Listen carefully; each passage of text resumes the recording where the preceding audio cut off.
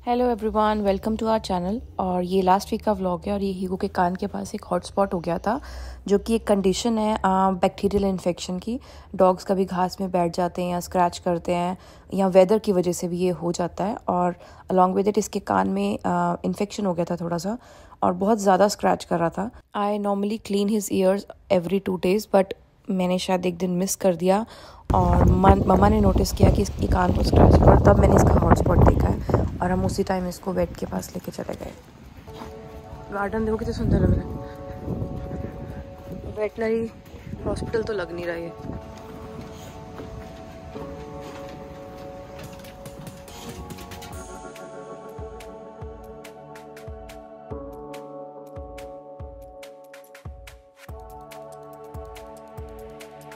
और ये हमारा देसी बच्चा अंदर टिकता ही नहीं है। इसको सबसे स्क्रैचेस चाहिए सबके साथ खेलना है। इसलिए मैं इसको बाहर ऑफ़ ऑफलिश एरिया है डॉग पार्क है आ, क्लिनिक में ही। मैं वहाँ पे इसको लेके आएँगी ताकि ये अपना यहाँ पे इंजॉय कर ले। और उसके बाद इसका उन्होंने कान क्लीन किया पूरा अच्छे से प्रोसीजर किया और हेड शेव करके कान के पास उस पर अच्छे से उन्होंने क्लीन करके मेडिसिन लगाया। ढाई सौ का फटका लग गया भाई साहब। बट मेरा डोडो ठीक हो जाए। क्योंकि झाँच रहा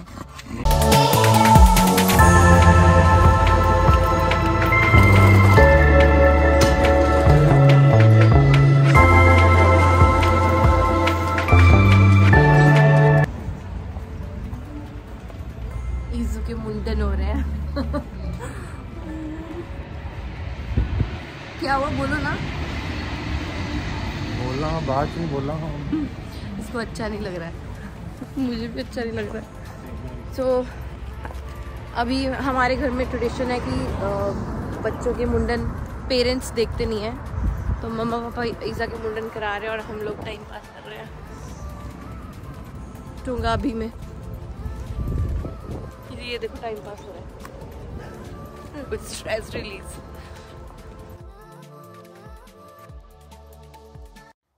ये हमारा बहुत ही टायरिंग डे था। एक सुबह पहले ह्यूगो को हम वेट के पास लेके गए और उसके बाद we were not really happy कि ईज़ा की इतने क्यूट इतने प्यारे से बाल जो हमें उसको मुंडन कराना है।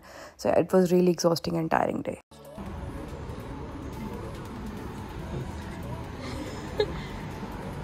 ओए गंजू बेटा मेरा। ओ ये क्या हुआ इसके? अच्छा चंदन लगाया है। ठंडक मिल रही ना छोटा राम गंजू पटेल ये तो और क्यूट लग रहा है।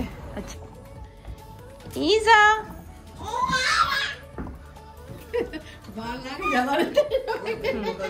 चलो शगुन लेंगे।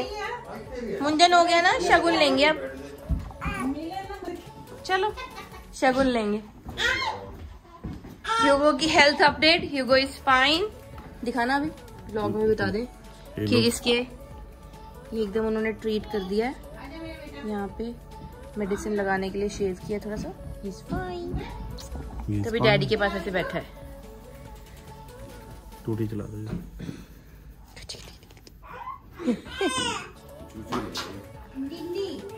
चलो चलो। पता पतले हाँ।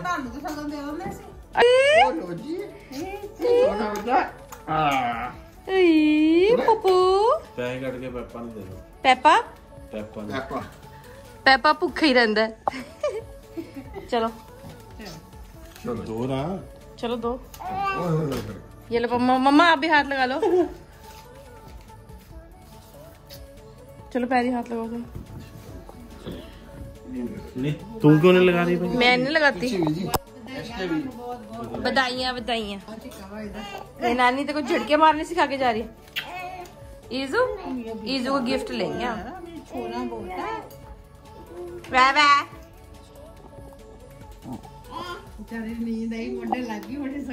हम्म। चलो इसे कर दो।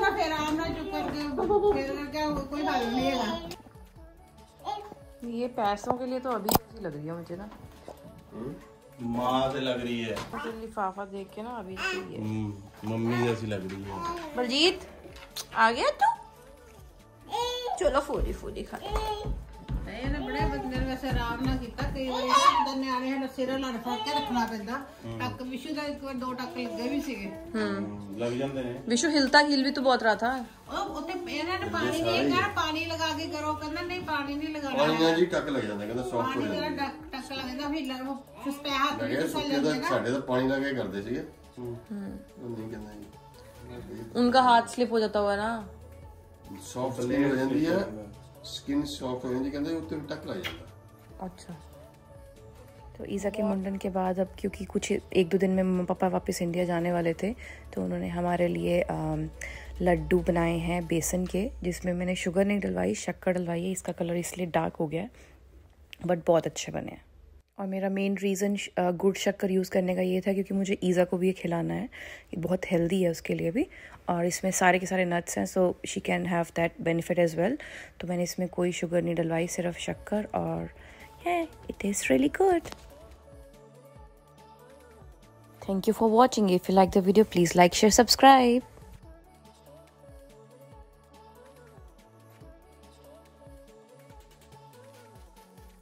Three.